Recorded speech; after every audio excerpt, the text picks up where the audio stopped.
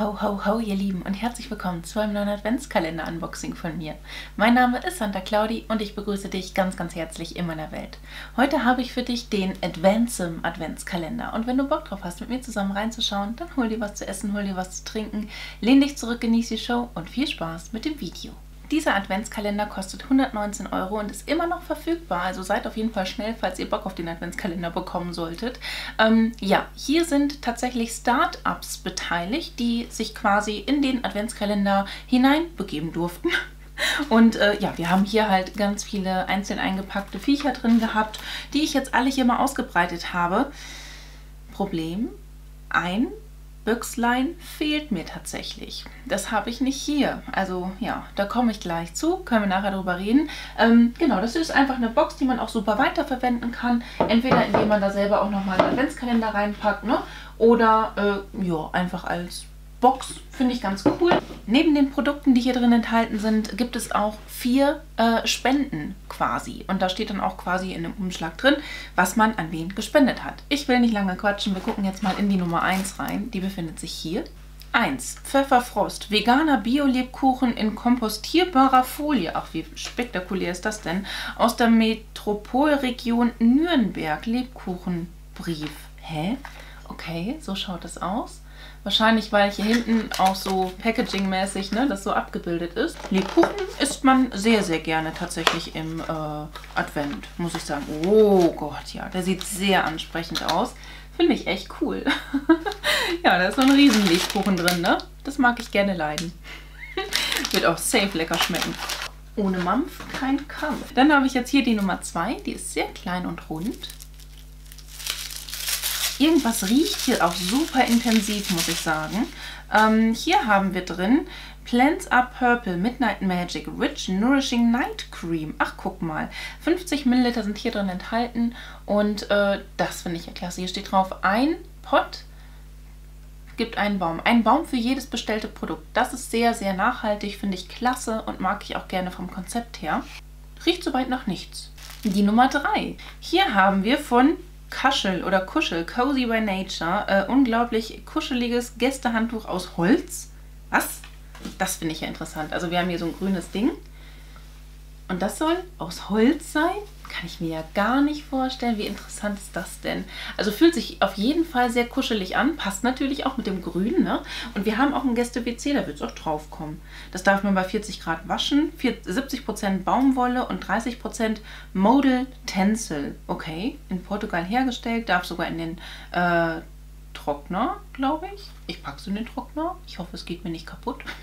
ähm, ja, geil. Das finde ich schön, wirklich praktisch. Ähm, ja, dann kommen wir mal zu der Nummer 4, 3 plus 1. Man hat auch immer Informationen natürlich zu den Firmen hier auf diesen kleinen Zettelchen mit dran. Ne? Die lese ich jetzt nicht alle vor. Ähm, oh, das ist ja ein charmanter junger Mann. Also jung, ne? Hm. Aber ein charmanter Mann tatsächlich. Little Home Köln e.V. Auf der Straße ist man der Welt ausgeliefert. Das ist ein Daueralarmzustand. Du schläfst da mit einem halben Auge, mit einem halben offen, Ohr offen. Hardcore, muss ich sagen. Ne? Das ist echt krass. Ah, sechs Little Homes inklusive Erstausstattung können wir mit eurer Hilfe für obdachlose Menschen bauen. Diese mobilen Wohnboxen umfassen 3,2 Quadratmeter und bieten doch alles, was man so braucht. Zum Beispiel eine Matratze, eine Kochmöglichkeit, eine Heizung, ein Erste-Hilfe-Set und eine Campingtoilette vor allem aber Privatsphäre und Sicherheit. Vier feste Wände, ins Zelt kann jemand reintreten. Das finde ich auch geil, denn das habe ich auch schon öfters mal gesehen im Fernsehen, ne? dass sie diese Little Homes bauen und so und die dann für die Obdachlosen ähm, in die Städte reinstellen und so. Und das finde ich auch total geil. Also mega, bin ich gerne mit dabei. Der Tag von Nikolaus, die Nummer 6. 5. 5. Ben Anna, natürliche Handcreme für wunderbar weiche Hände. Das ist ja cool. Ben Anna mag ich auch von der Marke her. Die machen schöne Produkte mit Almond Oil, Daily Care, also quasi mit Mandelöl.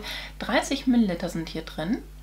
Und ähm, von Ben Anna habe ich damals mal in der Box so ein ähm, festes Deo auch gehabt, so ein Hochschiebedeo. Das fand ich auch ganz schön.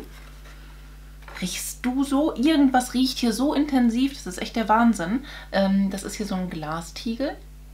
Ich glaube, ein Stück weit ist es das, ne? Ja, riecht aber angenehm tatsächlich. Und äh, ja, eine schöne Handcreme. Das mag ich gerne leiden. Wenn ich mir so meine Hände angucke, safe brauche ich Handcreme. Jetzt aber, Nikolaus, die Nummer 6. Das Bernsteinzimmer, Raum für Genuss. Pralinenbox mit einer exklusiv für Adventsum oder Adventsum entwickelten Praline und drei weiteren raffinierten Kreationen.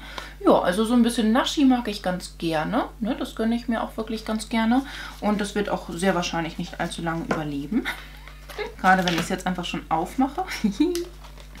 Hallo, geh auf. Es will nicht aufgehen. Es hat Angst vor mir. Geht wieder bitte alle an euren Platz, damit ich euch hübsch präsentieren kann.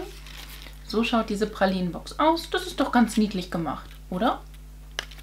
Ja, ich habe jetzt gerade äh, Abendbrot gegessen und ich habe mich hart überfressen, deswegen äh, kann ich da leider echt nichts gerade von essen.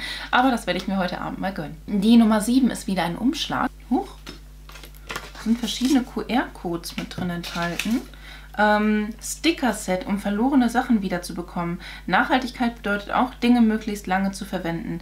Was aber, wenn doch einmal das Smartphone, der Reisekoffer oder dein Hausschlüssel verloren geht und man die Wertsache ersetzen muss? Heute stellen wir euch das schnellste Fundbüro der Welt vor. Mit 70% Erfolgsquote, komplett anonym, ohne GPS-Tracking und Batterien setzt Patavinus auf die Hilfsbereitschaft der Menschen. Du versiehst deinen Gegenstand mit einem Sticker, Schlüsselanhänger und aktivierst den Code in der kostenlosen Patavinus-App für äh, Android und iOS. Okay. Bei Verlust kann dieser dann einfach mit dem Smartphone des Finders oder der Finderin gescannt werden.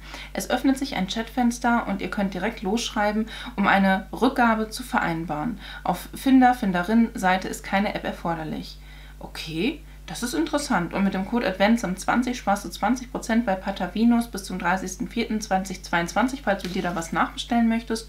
Ja, hier sind auf jeden Fall ähm, vier von diesen äh, QR-Codes. Das finde ich auf jeden Fall sehr cool. Ne? Sowas kann man easy aufs Handy kleben oder ähm, in, das, in das Portemonnaie oder so. Ja, da ist natürlich vorausgesetzt, dass der Finder dann auch wirklich so ehrlich ist. Ne? Okay, wir gucken jetzt einfach mal weiter in die Nummer 8 und hoffen, dass sie kracht. Ich gehe von irgendwas zu trinken aus, weil das halt so form- und schweretechnisch so aussieht. Black Sense Chai, Organic Spice Syrup. Okay, Hilfe. Ayurvedic and Vegan. Without black tea or caffeine. Black Sense Chai. Ja, das soll, weiß ich nicht, trinke ich das jetzt so pur oder mache ich das irgendwo rein? Da muss ich mich jetzt wirklich noch online ein bisschen informieren. Die Nummer 9.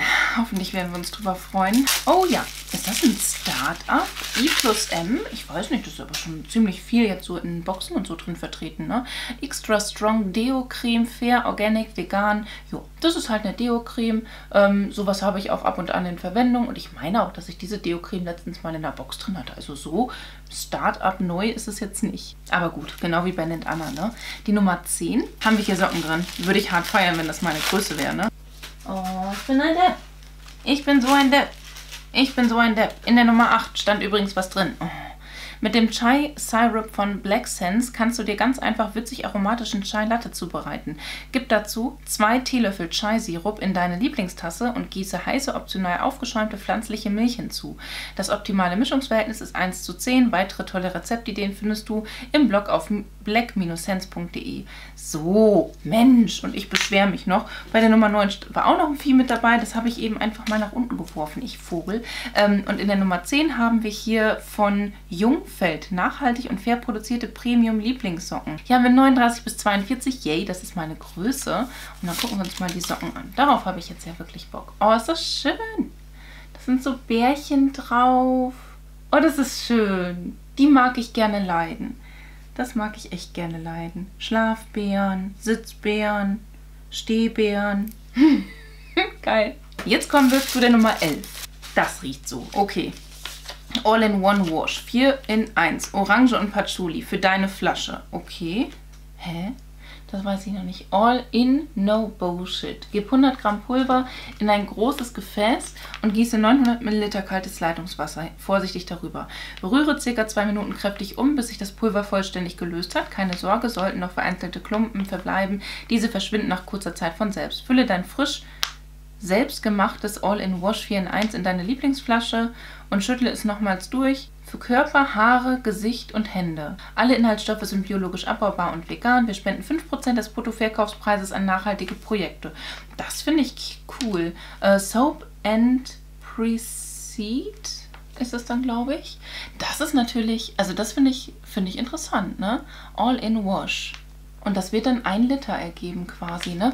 Interessant, sehr interessant. Das Ding des Jahres. Ach, da kommen die auch weg. So, 4 mal 3 ist 12. Da wird Sport gemacht auf dem Bild. Autonome Frauenhäuser Köln, also das viel geht nach Köln hier. Schutz und Unterkunft für Gewalt, für von Gewalt betroffene Frauen und ihre Kinder. Die Spenden ermöglichen es uns, vier Selbstverteidigungsseminare und vier Yogakurse anzubieten. Diese sollen den Frauen, Frauen helfen, zur Ruhe zu kommen, sich wieder mit ihrem Körper zu verbinden und zu lernen, was sie bei grenzüberschreitendem Verhalten tun können, wenn sie handlungsfähig bleiben und Angst in Wut umwandeln, um sich stärker zu fühlen. Wahnsinn. Zusätzlich kann das Einrichten eines Raumes finanziert werden, der unter anderem mit Yogamatten, Sofas, Musikanlage und Tischfußball ausgestattet wird, um unseren jüngeren Bewohner, Bewohnerinnen einen Ort des Rückzugs, der Entspannung und der Freude anbieten zu können. Das finde ich auch sehr, sehr schön. Weiter geht's mit der Nummer 13. Äh, Bio-Nussmus mit Suchtfaktor Cinnamon Roll mit Bio-Mandelmus. Oh je, ich weiß nicht, ob ich das mag. Das ist natürlich sehr spektakulär weil äh, das jetzt extrem süß sein wird, denke ich mal. Ne? Also ich mag wohl so ab und an mal ähm, Erdnussbutter oder sowas, aber huhu, kannst du auf jeden Fall ganz normal äh, snacken oder du kannst es irgendwo mit reinmachen in irgendwelche Essensgeschichten und da gibt es auch wohl auch Rezeptideen und sowas. Okay, für mich glaube ich ein bisschen zu fancy. Die Nummer 14. Hier haben wir Lufa-Schwämme für Haushalt und Körperpflege. Oh mein Gott, ja, sowas ist äh, natürlich total klasse. Äh, Waste Less Hero, ein Lufa-Schwamm Zweier-Set. Nö, sowas mag ich. Ne? Sowas verwende ich auch ganz gerne. Zum Putzen kann ich mir das auch wirklich gut vorstellen. Für den Körper eher weniger, wenn mir das zu hart sein wird. Da bin ich nicht ganz so Fan von. Perfekt als Seifenkissen und Reinigungsschwamm. Mega. Die 15 möchte sich hier schon hinaus bewegen. Vielleicht riecht die, die auch so intensiv hier. Huch. Hä? Warum habe ich hier ein Stück Holz drin? Doch, das steht hier drauf, ne? Ritueller Emoliente Tee und Palo Santo Holz von Vairu. Ja, wir haben ein Stück Holz. Das ist super. Und wir haben ein Ritual von Kori oder Ritual von Kori, einen Superfood-Tee mit 20 Gramm. Ähm, ja, ne? Weiß nicht, mag ich bestimmt. Ja, das hört sich alles lecker an, also sehr würzig. Das wird auf jeden Fall mal ausprobiert. 16 haben wir hier. Panakea Biokosmetik, Hautpflegeöl, Körper- und Gesichtspflege mit Granatapfel und Mandel. Das finde ich schön, sowas mag ich. Cruelty-free und vegan und ähm, 99% natürliche Inhaltsstoffe. Wie viel sind das denn? 30 Milliliter oder so? 45 Milliliter sind hier drin enthalten. Guck an, so schaut das aus. Und ich gebe mir sowas gerne auf meine Oberschenkelinnenseiten, aber auch auf meine Hopis oder auf meine Mumu. Das ist auch immer eine ganz gute Geschichte, weil es halt wirklich auch pflegend ist. Und äh, ich glaube, genau dafür ist es für mich persönlich auch echt perfekt. Mega. Die Nummer 17 ist noch ein Umschlag. Hier haben wir noch eine Spende drin. Oh, ist hier ein Seehund. Ich liebe Seehunde. Seehunde sind toll. Die sind richtig toll. Oh mein Gott. Oh mein Gott, ist das niedlich. Guckt euch das an. Oh mein Gott. Treffpunkt Wattenmeer, Seehundstation, Nationalparkhaus. Das sagt mir irgendwas. Ich glaube, ich war da schon mal. Ich glaube, ich war da schon mal, denn da gibt es in der Nähe von, ist das Kellenhusen oder so, gibt es so eine Seehund-Auffangstation. Da war ich schon mal drin. Norddeich, ja stimmt. In Norddeich, da waren wir. Ja, da haben wir Urlaub gemacht. Das ist schon ewig her, aber es ist total schön gewesen. Wir danken dir, dass wir mit deiner Hilfe für sechs Seehundweisen die Rettung und Aufzucht finanzieren können und wünschen dir fröhliche Festtage und ein gutes neues Jahr. Oh ja, gerne. Oh mein Gott, ist das süß. Guck mal. Das hänge ich mir irgendwo hin. Ich liebe Seehunde. Ich hatte damals ähm, ein Buch als ich ein Kind war. Und das hieß Ein Robbenbaby wächst heran. Und ich hatte ganz viele Seehunde als Plüschtiere. Und ich habe es so geliebt. Das war mein absolutes Lieblingstier, Leute. Ich sag euch das, ne? Oh, so knuffig. Und bei uns im Zoo, mh, mm, ja, ich weiß, das ist naturschutztechnisch auch immer so eine Sache für sich, aber da war dann halt auch so eine Seehundshow und dann haben diese Seehunde auch den, wenn man dann nach vorne geholt worden ist, den Kindern auch so einen Knutschi gegeben. Dann habe ich einen Knutschi von einem Seehund bekommen und wenn ich ehrlich sein darf, war das mein erster Kuss, den ich bekommen habe. Das heißt, sollte mich jemand fragen, Claudia, von wem hast du eigentlich deinen ersten Kuss bekommen, muss ich sagen, es war ein Seehund. so, die Nummer 18. Rein pflanzliches frische Wachstuch. Dein veganes Food Wrap. Hier drin Ah, ich weiß, was das ist. Das kann man mit der Hand erwärmen und dann quasi über offene Sachen drüber machen oder so. Hier, ne, das sieht man auch hier. Ähm, über eine Gurke oder sowas. Und äh, durch die Handwärme kann man das formen. Im Kühlschrank wird es dann hart und ähm, kann man dann immer wieder tatsächlich wiederverwenden. Also einfach abwaschen und weiterverwenden. Und äh, da habe ich auch aus äh, Bienenwachs einige von diesen Dingern. Und das hier scheint einfach natürlich zu sein. Das ist auch interessant, ne? Kannst dein Brot reinmachen. Gut, da bräuchtest du jetzt wahrscheinlich ein ziemlich kleines Brot, wenn du das da... Sehr klein. Die Nummer 19. Drei zart schmelzende Elimba-Kugeln in allen drei Sorten. Classic, Orange Kurkuma und Intense. Elimba Advancem. Okay. Bio-Kakao-Granulat mit Gewürzen. Oha. Da muss ich mal gucken, ob ich das mag. Da bin ich ja manchmal etwas speziell. Ich glaube, Orange Kurkuma wäre nichts für mich und Intense tatsächlich auch nicht. Boah, das riecht aber, das riecht ganz merkwürdig. Ach so, das muss man auch irgendwie irgendwo mit reinmachen. Das isst du gar nicht pur. Okay, ich hatte schon gedacht, ne? Das wäre es ja noch. Aber das sind so große Kugeln und die muss man irgendwie in kochendes Wasser oder in warmes Wasser reinmachen.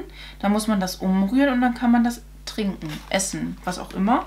Ilimba kombiniert das Superfood ungerösteter Rohkakao mit wenigen kostbaren Zutaten. Vitamine, Antioxidantien und Aminosäuren regen deine wintermüden Sinne an und wirken gesundheitsfördernd und öffnen dein Herz. Okay, ja, dann machst du halt irgendwie eine Schokolade von, ne? Vielleicht was für, für äh, meinen Freund, weil der gerne so heiße Schokolade mag. Sehr interessant auf jeden Fall. Vielleicht mache ich ihm dann mal was Schönes. Ähm, hier steht zwar, dass man das mit Pflanzenmilch dann machen sollte. Da kriege ich ihn nicht zu. Das mache ich dann mit ganz normaler Kuhmilch. Ne? Sehr spezielle Sachen hier. Ja, und jetzt kommen wir zu dem Punkt, denn ähm, ja, die Nummer 20 fehlt mir. Ich hatte oben drauf aber einen Umschlag liegen, wo halt ähm, drei Postkarten drin waren. You are never too small to make a difference ist das einfach. Das ist, ja, süß.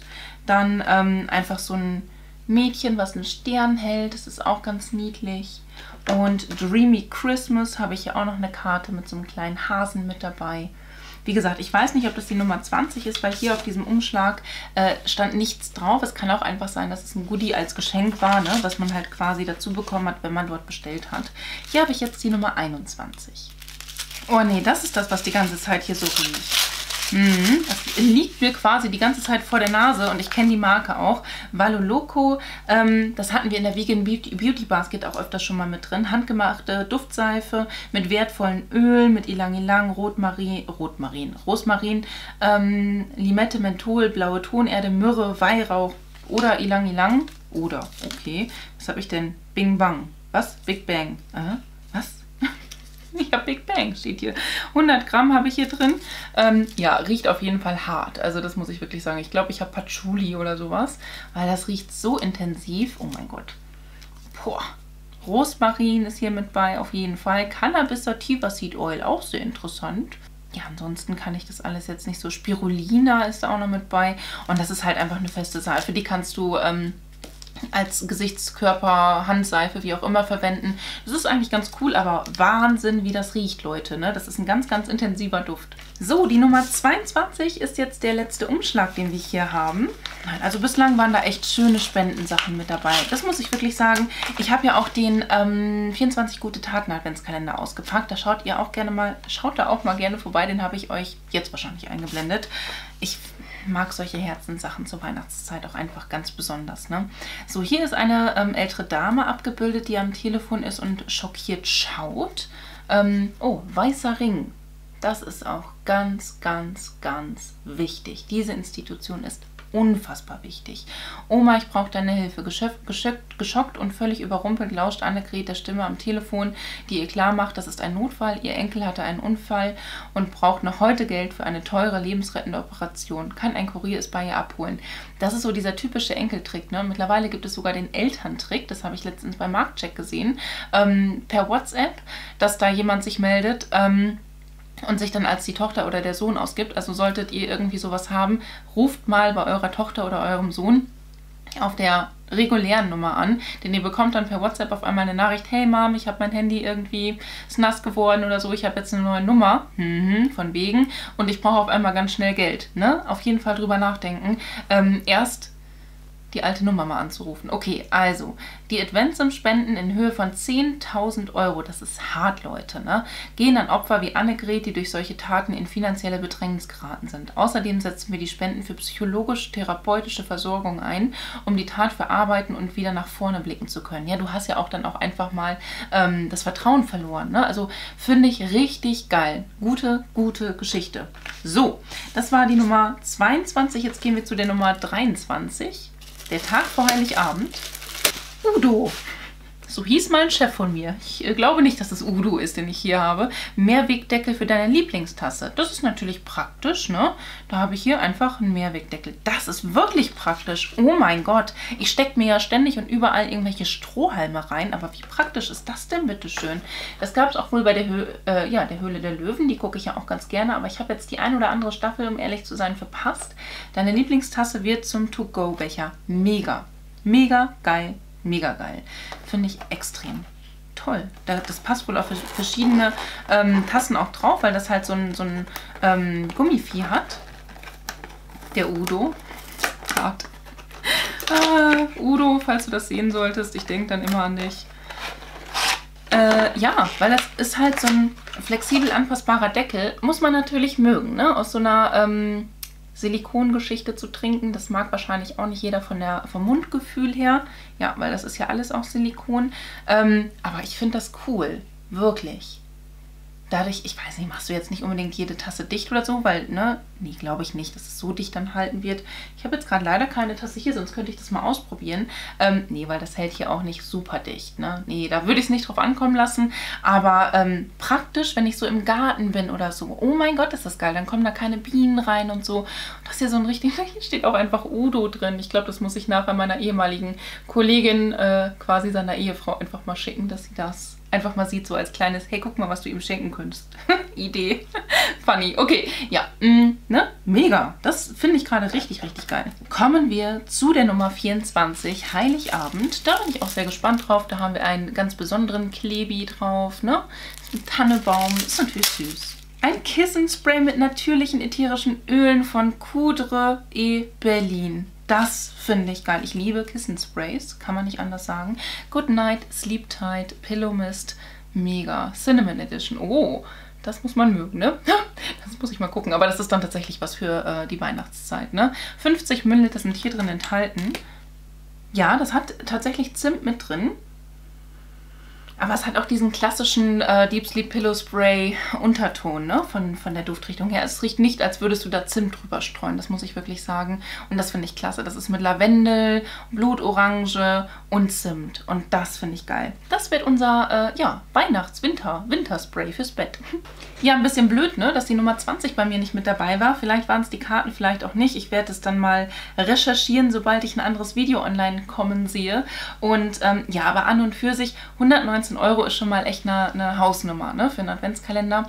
Andererseits muss ich sagen, wir haben hier interessante Startups mit drin, die ich noch nicht kannte. Wir haben hier Beauty, ähm, wir haben hier was zu essen, zu trinken drin. Wir haben ein bisschen was für den Haushalt, so, so Tools und so. Also von der Art und Weise her finde ich das echt cool. Und ich finde auch diese Spendenaktion, die da mit bei ist, ne, was ja auch angekündigt war, dass da vier äh, Spenden mit drin enthalten sein werden, fand ich echt gut. Ne? Also das hat mir wirklich gut gefallen. Ähm, also wirklich wirklich, wirklich gut. Und das sind auch Karten, die man sich theoretisch so hinhängen könnte. Ne? Dass man da einfach auch immer wieder ein Stück weit dran erinnert wird, dass man ja auch einfach was Gutes getan hat. Das ist wie so eine Art kleines Dankeschön von der jeweiligen Organisation. Ähm, ich finde ihn geil, wirklich. Ich glaube, ich hole mir den nächstes Jahr auch, weil ich das einfach sehr interessant finde, was sich da so drin verbirgt. Und das war es dann jetzt auch hier von mir und dem Adventskalender. Und äh, ja, wenn dir mein Video gefallen hat, dann lass mir doch sehr, sehr gerne einen Daumen nach oben da. Würde ich mich mega drüber freuen. Ansonsten wünsche ich dir einen wunderschönen Tag, einen wunderschönen Abend. Lass es dir ganz einfach gut gehen. Fühl dich ganz doll gedrückt von mir. Ich verlinke dir mal hier oben meine Playlist mit den ganzen Adventskalender-Unboxings. Hier unten meinen neuesten Upload. Auf dieser Seite noch ein Video von mir. Und hier oben kannst du, wenn du möchtest und es vielleicht noch nicht getan hast, mich sehr, sehr gerne einmal kostenlos abonnieren.